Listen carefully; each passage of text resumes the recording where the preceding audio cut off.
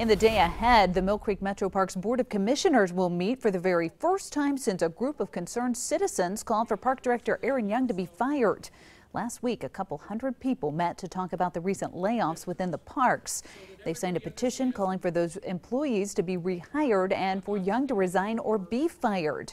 Young told First News he has no interest or intent on resigning. That meeting starts tonight at 6 p.m. at the Metro Parks Farm in Canfield.